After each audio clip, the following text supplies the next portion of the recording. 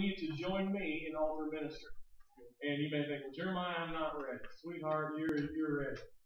You know, you think, well, I don't know how to relate to these kids, or I don't know what to say. God will give you what to say. It's a fabulous thing to get out of your comfort zone and sit down. And it's a great day, and it's uh, June. We're going to have it June 4th, 5th, 6th, and 7th is uh, when it's going to be. And as you volunteer for altar ministry, um, I'll help you with it, and we'll have someone come out here and train us on how to do it. But I've been involved for years, and uh, if you would like to be involved in that, just let me know, and uh, you guys can do that. And it's basically just praying with kids that need help, and it's a beautiful thing. So there's that. Uh, throwing that out there. We got Winter Jam March 15th. Anybody heard of Winter Jam? Yep. We're going to go to Winter Jam. If you want to go, we want to take a group. And so if you're interested in going to Winter Jam, that's March 15th. It's $10 at the door. It's very inexpensive. Doors open at 5 o'clock. We'll go as a group. Last year we went as a group. We had a great time. We ended up playing tag football while we were in line. It was great. We had a great time. So that's coming up. And June, excuse me, March 15th is what it is. It'll be a Saturday, I think. Okay. And then here's the next thing, real quick, before we jump into what God asked for us this morning. Next Sunday is going to be so different. It's going to be completely different. Okay. We're going to have a, a dinner, uh, a communion dinner service. And what that basically means is when you come in, the chairs aren't going to be set up like this The chairs are going to be set up like it was at the Christmas party. If, you're, if you came to the Christmas party, we're going to have the chairs set up like a dinner table, and I'm going to take the entire service and we're going to teach on communion. And uh, how many know communion is powerful? Because it represents what Jesus did for us. And how many know that a lot of people have taught it very incorrectly? And they've used it to bring fear into people's hearts and to cause them to uh, be sin conscious rather than Jesus conscious. And so we're going to take that entire ser- service and we're going to have dinner together, and we're going to teach on communion, and we're going to have a wonderful time, and it's going to be awesome. But when you come in, it's going to be it's going to be totally different. Things are going to be set up different. So just wanted to let you know it's on the horizon. If and it's not a potluck. So if you're interested, if you're interested, I love potluck. There's a time for potluck. There's not a time for potluck. And what we're having is we're going to have roast, and we're going to have uh, uh, uh, bread, and we're going to have salad. And so, if you're coming, bring drinks. And if you're interested in bringing salad, uh, see Stacy or Katie. And uh, the roast is taken care of, but if you want to bring some salad, uh, if you want to bring some dessert on the side, see me. No, I'm only kind of kidding. Yeah, pumpkin roll. I am kidding. So. And so, anyway, if you're interested in, in helping out with that, see Stacy or Katie and uh, we'll line out some salad or bring some bread, roast and stuff's already taken care of. So next Sunday, don't make plans for lunch because we're all going to be eating together. It's going to be great. And I've got a really cool surprise for you too. And I won't give you any information on that other than it's going to be really cool. so, any questions or comments, complaints, gripes? Rain? It's raining, right? As long as it rains, we're fine. Cool. Office taken up. Father, we ask you to bless it in Jesus' name. Yeah. All right. Let's turn to John 14. Hallelujah. Uh, are we online? Are we good? Hello, we love you. Um, no, the kids are growing up. I'm sorry. I think. Oh, not yet, not yet. Hold on. Not yet. Uh, John 14, and you know I've been teaching on peace, and um, I really tried to get off of it and I tried to teach Sunday. I told you that last Sunday was going to be the last. Uh, I want him to be in control, and I want to preach what he wants preached. And uh, the reality. Did y'all have an opportunity to guard your hearts through the week last week? Amen. That's wonderful. I did too. You mean tell you what? I lost my wallet, and I got up that day and I couldn't find my wallet. Now here we go. Now impacting our lives. Then we there's no reason to be sharing it. Guard my heart and I had to let not my heart be troubled. Because how many know when something like that happens, and if I did that, how many know that my results aren't going to be that great? My results are going to be rough. And so um, it was so funny because I, I was uh, we were going to uh, we were setting up the new we have a new internet source at the church. It's going to be more stable. It's going to be better for live streaming. And um, we. Uh, me and John are working together a lot these days. And uh, and so we were going to do that, and I couldn't find my wallet. But I, I let not my heart be troubled, and uh, I kept peace on it. and eventually found it. You know, I found it. I called my wife. I said, "Amen." hey, there's an entirely different sermon right there. But you know, because you know your wife knows where it's at. Anyway, amen. Had an opportunity to do it, but and you know, we live in a world where uh, there's a real absence of peace, and God loves us so much that He wants us to live our lives out of a place of peace. And the thing about it is, the kingdom of God, folks, it runs on peace. Amen. Everything in the kingdom runs on peace. Now, here's the thing where's the kingdom at this morning? It's inside of you, right? And so, if everything that God does is through peace, then what's going to happen is it would be good for us to live our lives out of a place of peace so that we can be led by the Spirit. Amen? And God does not want us caught up in the franticness and the craziness of this chaotic world. He wants us to be able to live out of our hearts and be able to live out of a place of peace. Now, uh, in John 14, Jesus speaking here, he says, John 14 and verse 27, he says, Peace I leave with you, my peace I give to you. Not as the world gives do I give to you. Let not your heart be troubled, neither let it be afraid. And so we see here, and this has been kind of our springboard verse, that Jesus has given us his peace. Amen? See, peace is not something that you are trying to get. Once you are saved, once you are born again, you already have peace. Peace has been given to you. Amen? One of the one of the greatest attacks of the enemy is the devil tries to to make you strive to be what you already are. You got to watch that. The enemy's always trying to get you to strive and to try harder to be something that you already are.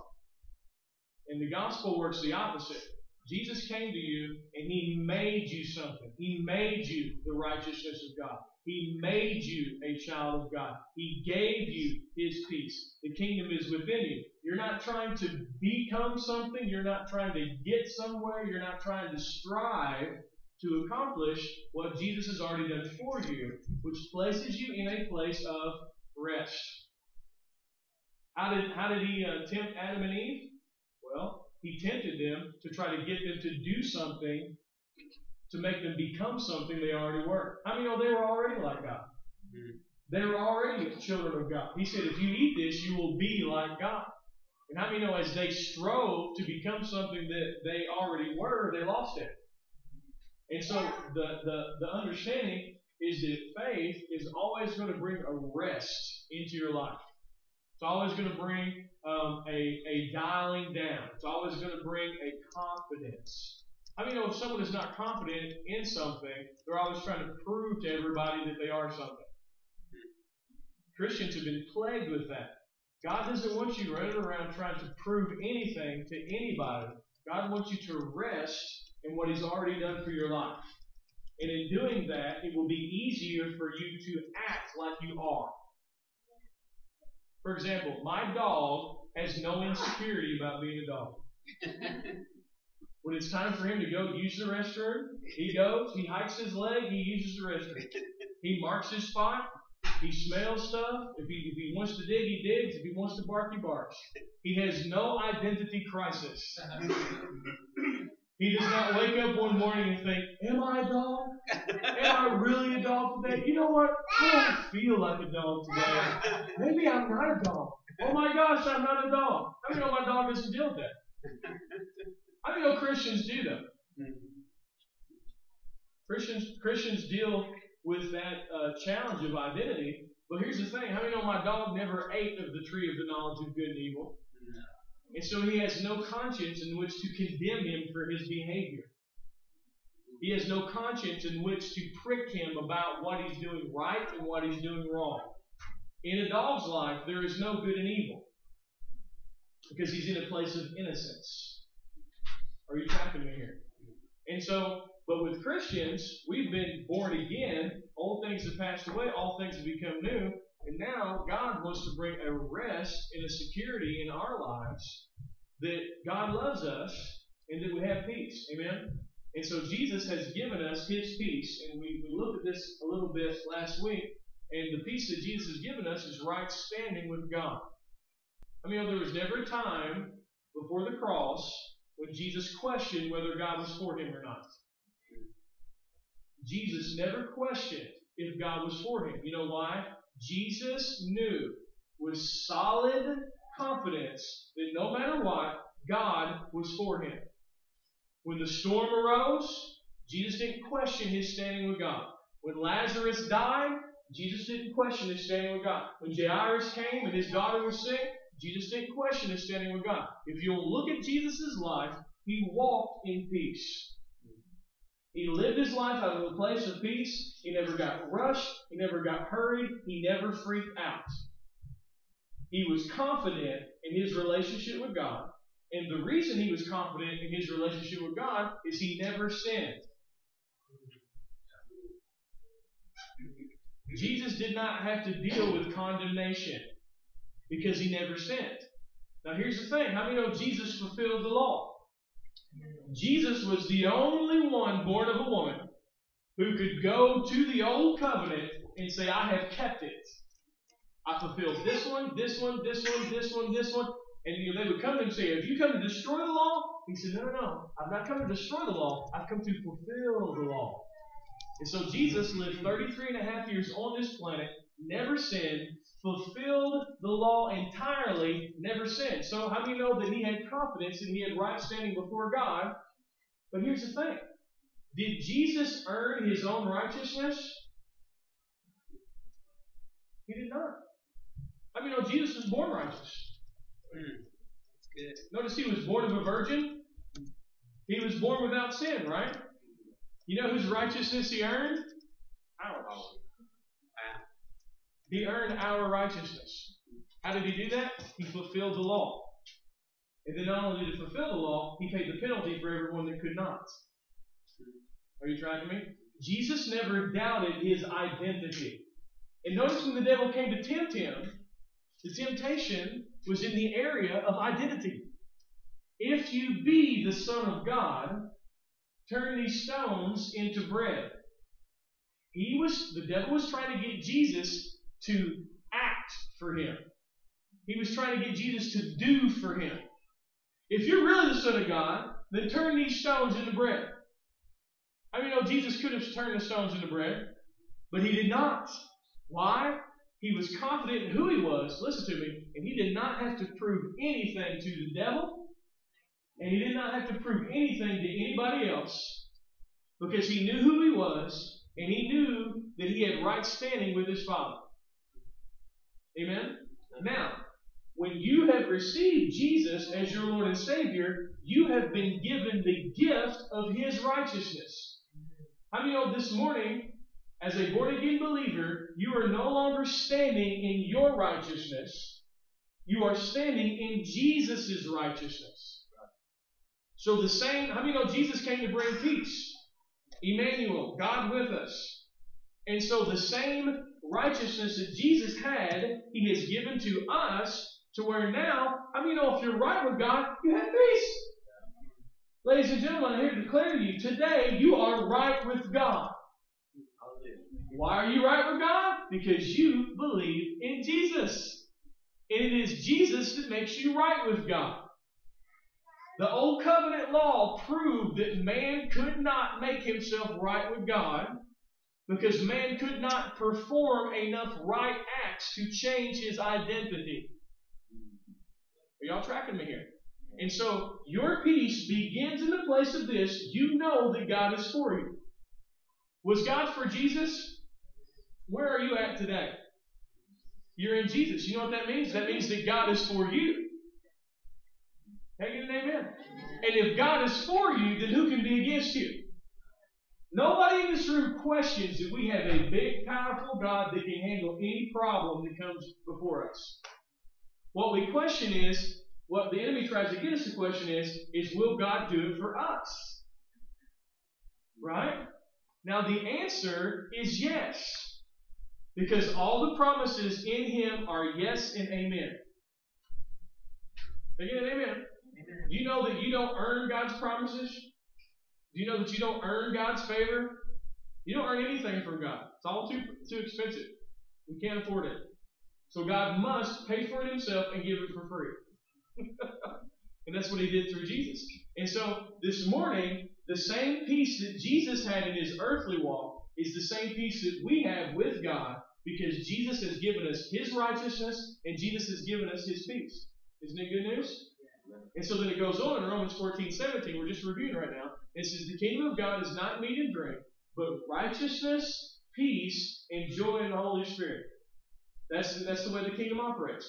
Now, you, as a child of God, because you received Jesus as Lord and Savior, you have been made righteous through the blood of the Lamb.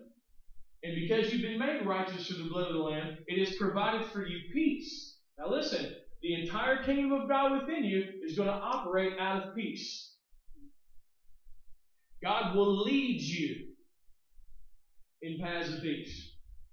You remember we talked about this last week. This is why a lot of Christians don't know how to be led by the Spirit because they're not established in the new covenant. Because here's the thing. How many you ever had a time when you were about to do something and you didn't have peace about it? You know what that is? That's the kingdom of God within you leading you. Don't go down that road. Don't go down that path. Anybody ever experienced that before? That's the best way God leads. God leads us in His Word and God leads us by His Spirit. And ladies and gentlemen, the enemy can fake a lot of things, but he can't fake peace. He can't do that. He doesn't have the ability to do that. You're, we're not led by fleeces in the new covenant. We don't lay out a fleece and say, God, if this happens, you want me to do this or you don't. Can you do that with God? You can, but that's not the way God intends. How many know the devil can, can, can fake all kinds of stuff? Signs and wonders and all kinds of stuff. We're not chasing after those things. Amen? We look to Jesus. Will signs and wonders happen? Yes. Will God speak in visions and dreams? Yes. Will you hear the still small voice? Yes. Yes, yes, yes. God, God loves like that. But the number one way you're led in the Spirit is by the presence or absence of peace, because can't nobody fake that.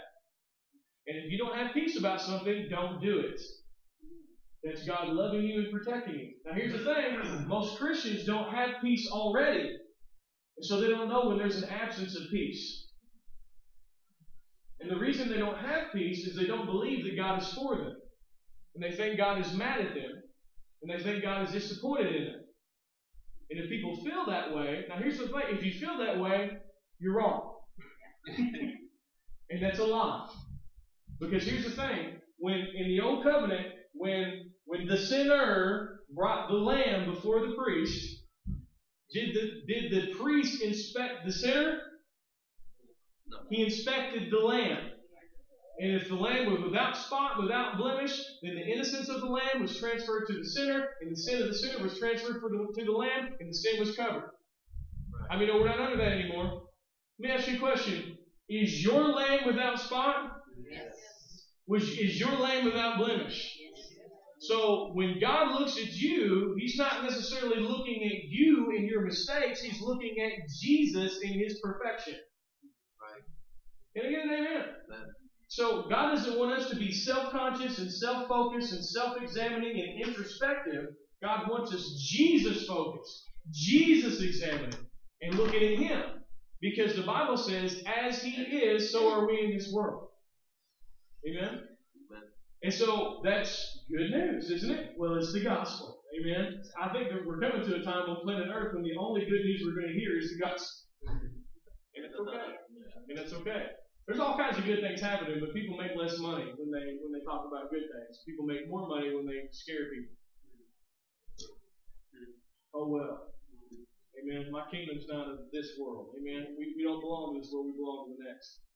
Now, and so with that, let's turn to 1 Corinthians 14. And it's sad how a lot of times man-made religion has mirrored the world's way of doing things. And we're going to hit that right now this morning because everything God does, He's the God of peace. He's going to lead you into peace. See, I think it's sad when a minister gets up and they put they pressure someone to do something when God leads in peace. You know, anytime someone's pressuring you and putting you on a timetable to do something, I question it. You ever been had pressure sales? Man, we were trying to buy a car a couple years ago or something, and this brothers would come after me, and I would shut them down because I'm not going to be pressured into anything. I love you. I'll buy a car from you if I feel like it's the right one. But if you have to pressure me into it, then you can forget it. I mean, the world operates on pressure. The kingdom of God does not. And I, I can't tell you how many times I've seen ministers get up and pressure people to give, like if they don't give right now, then somehow the blessing's not going to be there because God is is you know God is you know it's it looks more like the jackpot mm. than the church. You know, gotta give now, gotta give now. If you want to blah, blah, blah. No, no, no, no, no, no, no, no. God will lead you. You don't need somebody pressuring you. How many know a good shepherd leads? A good shepherd does not beat or pressure. How many know Jesus is the good shepherd? And how many know God is raising up good shepherds? Amen. We've, we've had a lot. We've had a lot of the wrong, and uh, we're in the midst of a reformation, and God is making things right. Amen. And He's always going to lead us in peace. Now, in 1 Corinthians 14:33 makes a very important statement about God and the way He does things. 1 Corinthians chapter 14, verse 33. For God is not the author of confusion, but of peace, as in all the churches of the saints. Now here's the thing. God does not operate in confusion. God does not uh, do anything in confusion. Now that word confusion in the Greek um, is Strong's number 181, and it's the word octasia, and it means confusion, disorder from instability from instability, confusion, or disorder because of instability. Now, says God's, God is the author of peace, not of confusion and instability. Now, here's the challenge Christians, as a whole, have been unstable in here. And because they have been unstable and there's been an absence of peace, now here's the thing it's easier to control someone who's afraid. It's easier to control someone who's afraid. Oh, it's easier to control someone who is afraid. And many times, what man made religion has done is they scared God's people into submission so that they could control them and live their lives for them and tell them what they're supposed to do right and tell them what they're supposed to do and how they're to live their lives. Now, here's the thing. How many know that's not the way God operates? God operates out of peace. And that instability, how many know it's easier to control someone who's insecure? It's easier to control someone who does not have confidence. Now, here's the thing the gospel comes to bring peace in people's hearts so that they're not controlled outwardly by a man or a ministry or a person, but they are led by the Spirit of God in here. Can you get an amen? You know, a lot of the mistakes that have been made are a result of people not having a relationship with God for themselves. People having a relationship with God through the pastor. Yeah. Or through the leader the minister. Ladies and gentlemen, we're not that's not the New Testament. You're not supposed to have your relationship with God through the minister. Where if the minister uh, likes me, then that means God likes me. The minister approves me, that means I'm approved by God. Sweetheart, your approval with God has nothing at all to do with the minister. It has everything to do with Jesus Christ. When you believe in Jesus Christ and you receive Him as Lord and Savior, God is well pleased with you because you have honored the work of His Son. Now, whether the minister likes you or doesn't like you, approves you or doesn't approve you, that has nothing to do with your relationship with God and your standing with God. Can I get an amen? And I know this really attacks the foundation of, of man made legalism religion, but ladies and gentlemen, it can't be that way. The minister is to point to Jesus. The minister is to preach the gospel, which will produce peace which will allow people to hear God for themselves. Yes. The minister is not a mediator, the minister is not a go between. You have Jesus inside of you right now. The purpose of the minister is to bring fresh bread that's going to feed the people of God so that they can renew their minds and they can have their own relationship with God outside of a church service. See, your relationship with God, you can, we come here to learn and to feed, but ultimately we need our relationship out there. We need to be led by God's Spirit out there. We need wisdom out there. We need Jesus out there. I mean, you know you can't have your pastor in your back pocket 24 hours a day. And what ends up happening a lot of times is people are accountable as long as there's a person to be accountable to, but when they're alone, there's no accountability because they've not developed their own relationship with God. You don't want your accountability to be to a man or a woman or a minister or a leader. You want your accountability to be to the Lord Jesus Christ. And here's the thing: wherever you're at, He's with you.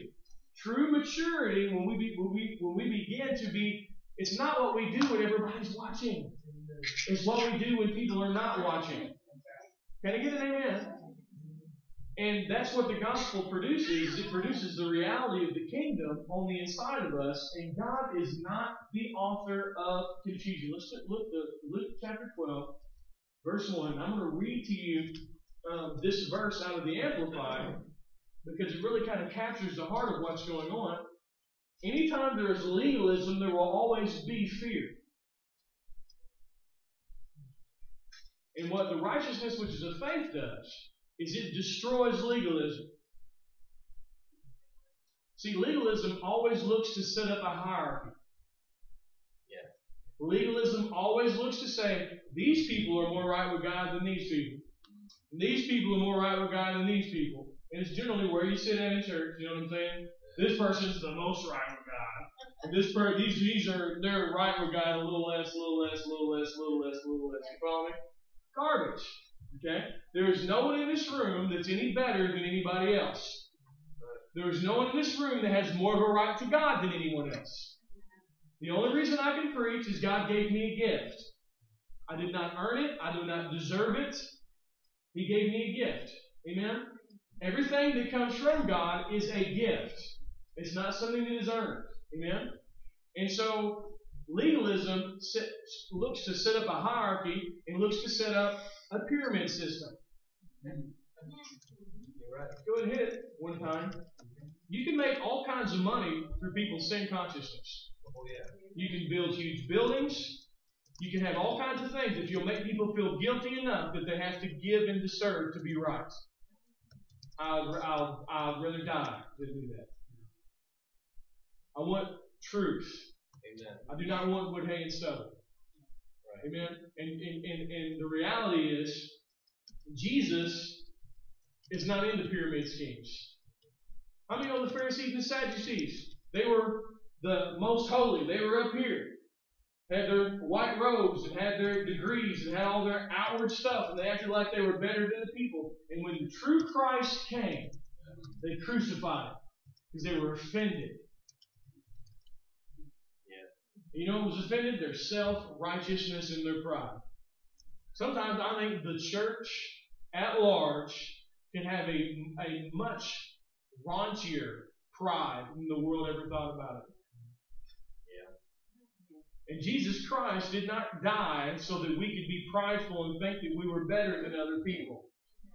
Jesus came and died so we could recognize we all need a Savior and nobody's any better than anybody else. Can you get an amen? And, and that's one of the reasons that love has been so frustrated in the church worldwide, is people have been set up in a, in a legalistic concept of righteousness, which prevents love from flowing. If I think I'm better than somebody else, can I love them? No, I can't. Anything that's directed towards them is condescending. See, the Bible says that we are to lift each other up and esteem each other better than ourselves. And that goes, and that's everybody. Can you get an amen? How many know we are supposed to honor the pastor? How many know we're supposed to honor each other? It's funny how people want to preach, honor the pastor, honor the pastor, honor the pastor, honor the pastor. And then, the, and then God love the saints, man, they're out there just trying to fight for the pastor's approval. When the reality is we're all supposed to honor each other. And submit to one another and love each other. Amen? But we cannot do that where legalism is and self righteousness is and man made religion is. And let's look at this scripture, Luke chapter 12, verse 1. I'm reading out Amplified. In the meanwhile, when so many thousands of the people had gathered that they were trampling on one another, Jesus commenced by saying primarily to his disciples, Be on your guard against the leaven, the ferment of the Pharisees, which is hypocrisy. producing unrest and violent agitation. Now, what he's talking about there, that leaven of the Pharisees, which is hypocrisy. How many know when you do something outwardly that's different than what's in your heart, it's a lie? Yeah. That's what true hypocrisy is. God's not concerned with how you look in front of other people. God's concerned with what's in your heart. Religion is concerned with how you look in front of other people, and who cares about your heart? And so, what legalism does is it automatically brings unrest. What are you talking about, Jeremiah? Let me, let me, let me switch gears here for just a second.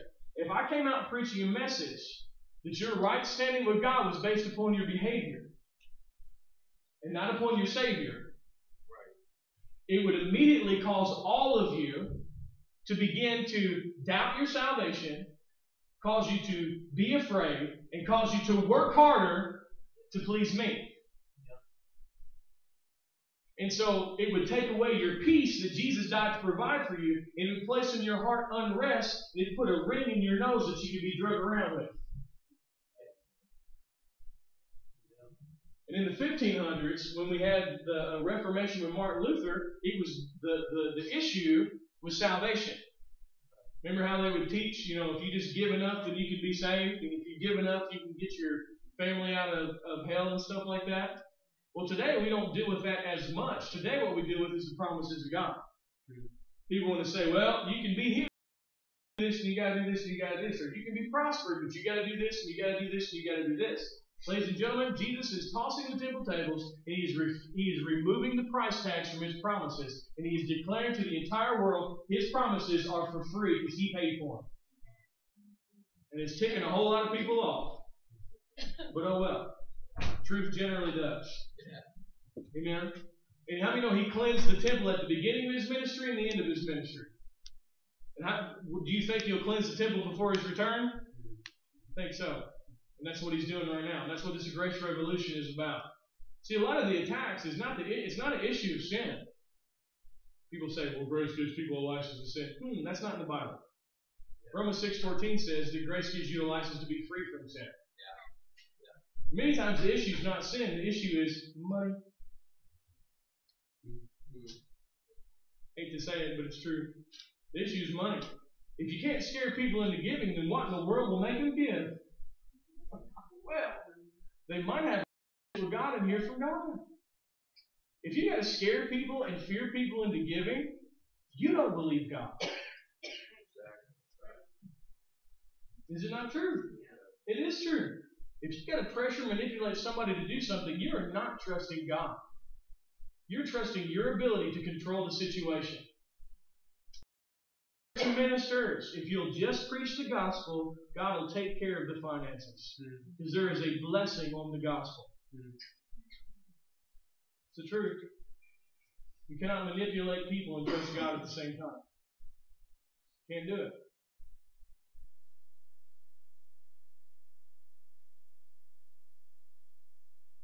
Know, God's not called you to live based on your checklist, and He's not called you to live based on someone else's checklist. He's Jesus has ripped up your checklist and said you're qualified, right where you're at, because of the work of the cross. Amen.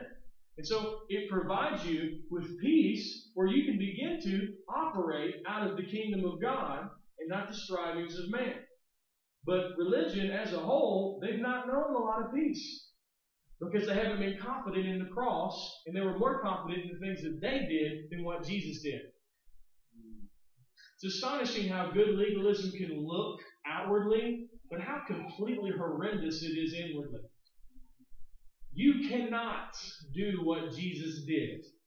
Either Jesus did it and accomplished it and you're right with God, or you are left with the burden of being your own Messiah. Legalism is antichrist theology. It does not honor Jesus, it honors self. It is humanism with a different t shirt and a different bumper sticker. It's true. It's not about what we can do, it's about what He did. It's about us enjoying. Amen? Now, Romans 10, and um, let's take a look here at a couple verses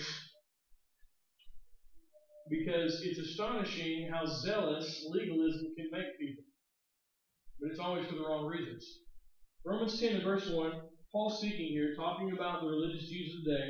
Brethren, my heart's desire and prayer to God for Israel is that they may be saved. For I bear them witness, they have a zeal for God, but not according to knowledge. For they, being ignorant of God's righteousness, and seeking to establish their own righteousness, have not submitted to the righteousness of God. For Christ is the end of the law for righteousness to everyone who believes. Now here's the thing. What is, what, what is the root of, uh, of man-made legalistic religious activity? It's people trying to establish their own righteousness. You cannot do anything to make yourself right with God. Right. It's very insulting to pride. It's very insulting to flesh. You can't do it. If you could do something to make yourself right with God, there would have been no reason for Jesus to die. Right? Okay? Jesus fulfilled the law, completed it, and now Jesus has given you the gift of his righteousness. He that knew no sin became sin so that we could become the righteousness of God in him. 2 Corinthians 5.21. And so now you've been made the righteousness of God, but now God, what God wants you to do is to submit to his righteousness. How do you submit to his righteousness? You declare, I am forgiven. I am the righteousness of God. God is not mad at me. God is madly in love with me. And all the promises are yes and amen to me. Because of Jesus. But what, what legalism tries to do is it tries to get you to establish your own righteousness. Well, you're right with God if you do this. And you're right with God if you do that. And you're right with God if you do this. And you're right with God if you do that. What we have, we have people running around in confusion and instability trying to serve God to get something that the cross has already provided for free. So what happens is you got Christians freaked out, knocking on doors, trying to witness to people. Because they think their salvation is based on their ability to tell people about Jesus. Right. So what happens is when they're telling people about Jesus, they're not telling people about Jesus because they love them. They're telling people about Jesus because they want to selfishly rack up enough points to earn God's favor. Yeah, you're right. And so, but what God wants to do is He wants to say time out on all of that and He wants us to be seated in heavenly places in Christ Jesus, relaxing God's love, and know this you are right with God.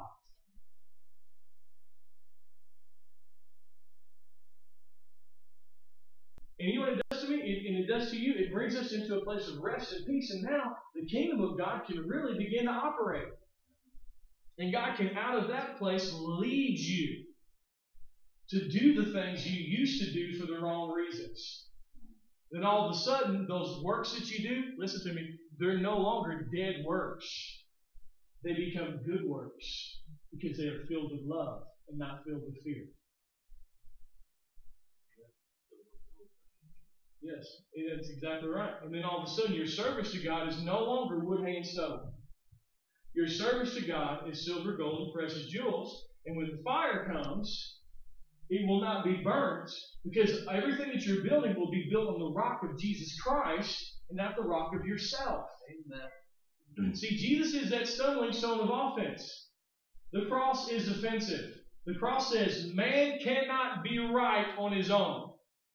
Man needs a Savior. So we stumble at the stumbling stone, but then we stand upon that rock, and now we have nothing to be ashamed of. Because our trust is in Him and not in ourselves. Y'all tracking me? And then all of a sudden it begins to bring this beautiful peace inside of your heart because Jesus is your Savior. Jesus is your righteousness. Jesus is your sanctification. Jesus is your wisdom. Jesus is your redemption. He does it all. You enjoy it. But don't we have something to do? yes, you believe. You believe, and everything else will take care of itself. I used to be the most aggressive evangelist. I mean, crazy. I can, I mean, I could go on and on and on and on and on about all the stupid, zealous things I did without knowledge that produced no fruit. It doesn't produce any fruit when it's for the wrong reasons. And now, as I rest in God's love and I have peace in my heart, I become an effective evangelist because I can only share what I already have. I already have peace. I'm not trying to get it. I'm not trying to deserve it. I already got it. Amen. And I'm confident in it. You know, there's some atheists trying to get me to argue with them the other day. and I won't do it. And then what they try to do, they try to insult you enough to get your flesh to rise up. That's what they do. And he was in a public arena. He was on Twitter. And uh, I just, I said, look, man, I, I, and this is what I did. I never disrespected them. See, don't don't let the enemy drag you into a poo throwing fight. to to to throw poo, you must pick it up. And then you got poo on your hands. And then there you are, the Christian tossing poo. And all the unbelievers are looking at you like you ain't no different than the atheists. And what I did was instead of disrespecting them and attacking them, I just I, I loved on them and I said, look, I said, I understand your viewpoint. You know, I was I used to I was an atheist, I was a drug addict, I was an alcoholic, but Jesus set me free. Hmm. And their response was, well, good news for you is if you set yourself free, stop giving credit to your imaginary friend. Hmm. Now, what's that? Here's the barb. What's it trying to do? It's trying to make me mad. Hmm. But I'm not going to. Here's the thing. I don't have to defend myself. I'm already justified. With or without his opinion of me, I'm justified. I don't need his approval.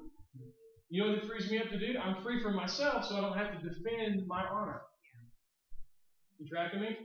And the only thing I said, I just said, look, I said, uh, you know, I used to feel that way. You know, my dad's an atheist, and uh, you know, I thank you for taking your time to share your viewpoint with me. I appreciate you taking time out of your day to share that. And then I said, God bless you, and send him a smiley face. what are they trying to do? They're trying to bait me into an argument. What's it going to take from me? Hmm. Yeah. Enemies after your peace. And if you get your peace, he's automatically got your joy. You don't need to spend your time fighting with people. Enjoy Jesus. Amen. Your, your salvation is not based on you sharing Jesus. Your salvation is based on the cross. Can I get an amen? And when the pressure comes off your shoulders, you'll share Jesus more by accident than you ever did trying so hard. you ever notice that? You know, when people try really hard at something, it's because they don't really believe it. A lot of times we're trying to convince people because we don't believe it. The, the greatest confidence is from rest and peace. See, whether that those people believe it or not, I know Jesus is real. And the best thing I can do for them is just love them and not fight with them. I mean, I could have spent an hour and a half fighting with them. And you know what would have happened? Nothing. Right. Poo on my hands, poo on their hands, and the people that are watching are like, ah, Christianity, just another religion. Just people fighting about who's right and who's wrong. Love wins. Love never loses. But it begins by knowing that we're loved and having peace in that place. Amen? Now, let's turn to James 3. We've got a couple more places here and we close. Thank you, Lord, for maintaining the rain. Thank you, Andrew, for checking the door. James chapter 3, we're going to see something very interesting. I know that the world has a wisdom. There is a worldly wisdom. And the worldly wisdom is not the same as a godly wisdom. James chapter 3, and let's take a look at verse 13. It says, Who is wise and understanding among you? Let him show by good conduct that his works are done in the meekness of wisdom. But if you have bitter envy and self seeking in your hearts, do not boast and lie against the truth. This wisdom does not descend from above, but is earthly, sensual, and demonic. For where envy and self seeking exist, confusion and every evil thing are there. But the wisdom that is from above is first pure, then peaceable, gentle, willing to yield full of mercy and good fruits, without partiality, without hypocrisy. Now, the fruit of righteousness is sown in peace with those who make peace. Now, let's look back here at verse 14. It says that you have bitter envy and self seeking in your hearts. So let me ask you a question. What are the two of the primary traits of man made religion? Jealousy hmm. and self seeking. My agenda. Those are two of the major things that you see in most churches. You see people jealously trying to get position, trying to get approval, and people trying to um, and trying to basically fulfill their own interests. Is that not a, one of the marks of a lot of religion? Now, interestingly enough, that's not the way God does things. I mean, you know, God doesn't operate like that. But here's the thing when righteousness is based on men and not based on Jesus, men will always try to scramble and be better than another man. To try to compete and try to be good enough. How I mean, know there's no room for jealousy and competition in the kingdom of God? Can you amen? It's just the truth. Jealousy and competition arises out of insecurity and a lack of trust towards God. How many know God has enough blessing to, to go around? How mean, know God has enough approval to go around? I mean, know God has enough righteousness to go around? Do you think the blood is enough to cover us all and to cleanse us? It is, isn't it? And so when legalism is presented, it will always produce an atmosphere of jealousy and competition and self seeking, which places the pastor in a position to manipulate people. I can manipulate this person because they want this position. I can manipulate this person because they got this. They're trying to get this, and, and then the pastor, instead of being a one that presents bread and feeds, becomes one that holds the reins of everyone's life. And the entire thing is just as ugly as it can be, and it's no different than, than, than, than corporate America. It's no different than the way the world does things. Amen.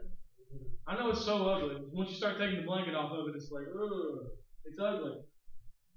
I've been in the middle of that. And what happens is, no one has peace. No one ever has peace because no one ever feels like they've done enough. And what happens is, it, it, there's a lot of basically witchcraft going on. What is witchcraft, Jeremiah? Is it potions and spells and cauldrons? Not really. Witchcraft is, is manipulating people and making them do what you want to do through your emotions. And it's a work of the flesh. It's not some crazy spiritual thing. It's just flesh. And, and witch, witchcraft is rooted in not trusting God, trusting self. So how many know people can be manipulative through being domineering? How many know people can be manipulative through making people pity them? There's all different types of manipulation. Here's the thing manipulation does not trust God, manipulation trusts self. What was Saul's greatest problem? Saul did not trust God. Saul trusted himself. And we know he eventually uh, went to the witch of Endor. That's where that thing ends up. It's a gross thing. How many know David did not trust himself? David trusted God. And David waited on the Lord to provide. What. See, what God gives you, nobody can take away from you. What man gives you, you have to, man can take away from you. And what you manipulate to obtain, you have to manipulate to maintain. Right. What you receive from God as a gift, you received it, and nobody can take it away from you. Amen. Amen. Yeah. It's true, isn't it? And what it does is, it, is it, it, it sets you free from allowing the enemy to control you to control other people. Right. I mean, the devil, try, he's a flesh devil, he works through flesh. And he's always trying to get in there and do his thing. God's kingdom does not operate like that. God's kingdom, and see, those things can't happen where Jesus is in the center. That's why the gospel's got to be preached. If your righteousness is from Jesus, do you have to compete to be more right with God? Do you have to compete for the pastor's approval? You have to compete for nothing. It's all yours. And you already have it. Can get an amen? And it silences the enemy's attacks, and that's why the enemy hates the gospel. It is the power of God unto salvation. Amen? And so, in verse 15, it says, This wisdom does not descend from above, but is earthly, sensual, demonic. For where envy and self-seeking exist, confusion and every evil thing are there. But the wisdom that is from above is first pure, then peaceable, gentle, willing to yield, full of mercy and good fruits, without partiality, without hypocrisy. Now the fruit of righteousness is sown in peace by those who make peace. You see the difference between uh, the enemy's kingdom and God's kingdom? God's kingdom operates out of a place of peace. And as that wisdom comes forth, I mean, no, you don't have to be scared there's not going to be enough. You don't have to be afraid of that. God takes care of his children. Amen. Amen. Don't be afraid. Don't listen to the world. Psst. You don't know what's going on. They don't. God knows what's going on. You're going to be taken care of because you're His kids. Amen. And so here's the thing. What do you got to do? Yeah, let not your heart be troubled. Guard that peace. Don't let anything take that peace from you. And the primary way the enemy attacks that peace is through making you feel like you're not right with God. Right. Are you so awesome of a screw up that you can mess the cross up? I know those are a little bit of strong language here, but sweetheart, don't be so egotistical as to think that you can mess the work of the cross up. The cross is greater than your mistakes. The cross is greater than your unbelief. See, this path of peace and this way of grace that God has provided, He prophesies about in Isaiah, fools cannot err therein. I am so thankful. I cannot mess this up. It is an invitation to all of the weak, the last and the lost, and the least. It says, Come, the kingdom is open. You can have it all for free. Just don't take credit for it, any of it. Amen. I mean, the challenge with, with grace is you can't take credit for nothing. I'm so okay with that. Amen. I don't want credit. I didn't do nothing. I haven't done anything. I just received. I was saved. Amen. And um, and so what's awesome is this shuts the devil down and it dismisses him as accuser because he cannot accuse the blood. And it is the blood that has cleansed you. Mm-hmm. You are right with God. Don't let anything take your peace. Don't look at yourself, look at your lamb. Right. Don't look at your mistakes, look at your Jesus. And as you look at your Jesus, your Jesus will fill your heart with peace. Because you know what? You don't have to qualify to be blessed. It is undeserved, unmerited favor. Can you get an amen? Is it good news? Does it sound too good to be true? Yeah. It's supposed to. If it does not sound too good to be true, then the gospel's not being preached. Because that's the nature of it. A couple more places as we close here. Let's turn to Galatians chapter 6. Y'all get anything out of this this morning? Yes. Amen. Cool. Are we icing? Uh, a little further north they are right now. The street is- Then let's shut it down. Let's shut it down. Love you guys. Thank you. Let the let me just we'll, we'll shut it down and we'll stop it right there. Can I pray real quick over you guys before you leave? Because I, I was kind of feeling down here like we were done. Father, in Jesus' name, we thank you for the honor and privilege to hear the good news of the gospel. Lord, we receive every good thing that you have for us based on Jesus and not on ourselves. Lord, I just speak a blessing. Lord, I think these people are safe and protected. They operate in wisdom. Everybody gets home safely, and all the food that they eat during this time will not be calories counted against them. In Jesus'